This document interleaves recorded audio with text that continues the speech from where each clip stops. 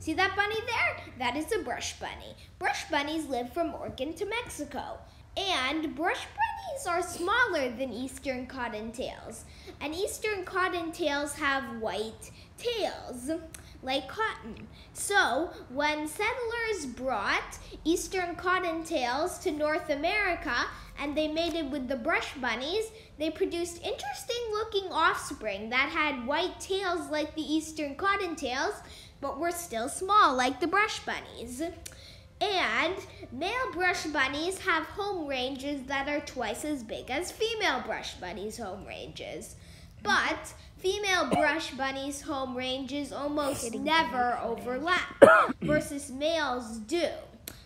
And in warmer climates, brush bunnies will have more babies than in colder climates.